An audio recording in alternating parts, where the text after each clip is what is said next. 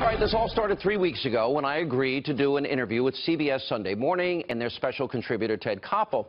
Now, the interview lasted well over 45 minutes, and we discussed in great detail why there's such a great divide in America in politics and in media.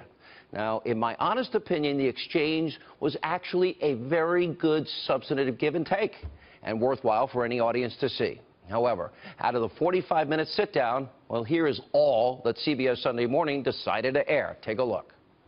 Honestly, I think liberalism has to be defeated. Socialism must be defeated in a political sense. This is not a. Uh, we, we, don't want a revolution in well, this what, country. What oh, more do you want? You got the White House, you got the House, you got the now. Senate. Okay. And then we have angry snowflakes, and then we've got a Democratic estab establishment. I say the press in this country is out to destroy this president. We have to give some credit to the American people that they're somewhat intelligent and that they know the difference between an opinion show and a news show. Yeah. You're not. You're cynical. Look at that. Yeah. I am cynical because uh, you know. You think we're bad for America? You think yeah. I'm bad for America? Yeah.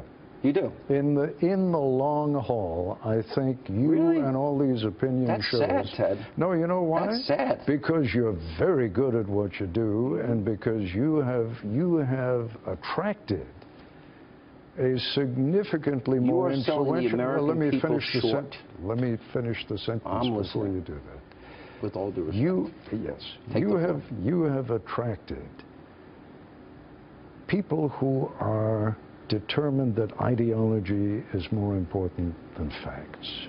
Wow. It's kind of calling me a liar. And then he's saying, well, you and all these opinion shows, he's giving his opinion. Only 70 seconds. That's it. Ended up airing. Now, I guess people like Ted Koppel feel you, the American people, can't distinguish between opinion and news. That's kind of like Obama. Remember he said people clinging to their God, guns, and religion, or Hillary Clinton who said ignorant, irredeemable, deplorables. Now, beyond this interview being a total waste of my time, it is a flagrant example of what I call edited fake news. Now, remember CBS News is the former home of Dan Rather. Remember he was forced to resign after reporting an inflammatory fake news story about President George W. Bush.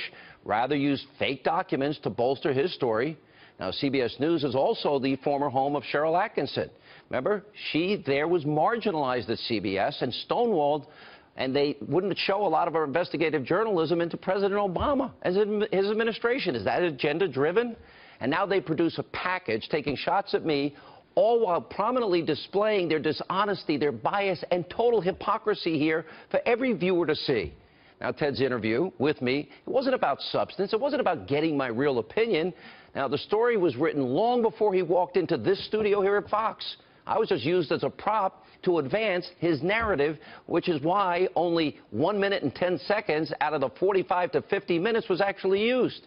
In other words, it was one minute, and that's the one minute that fit into their narrative. That is edited fake news. By the way, other networks, they play the same game, and they have for many years. And now it's time to expose this for what it really is, and I have the ability to fight back cheap shot attacks in the name of, quote, journalism, all to advance their biased agenda. Now, what Ted was really asking is this Are opinion shows bad for America? He thinks they are.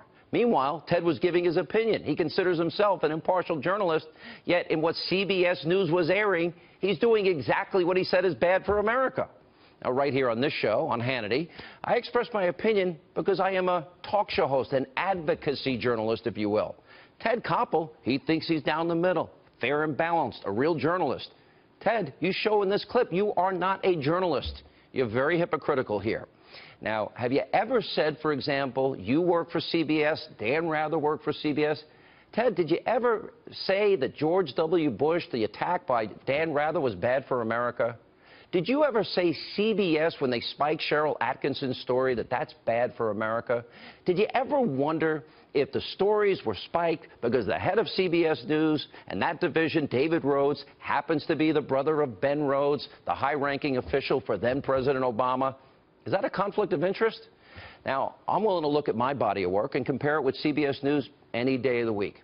Did CBS News even one time ever ask President Obama about his relationship with an unrepentant terrorist where he started his political career? Well, I did CBS's job. I did it for you, Ted.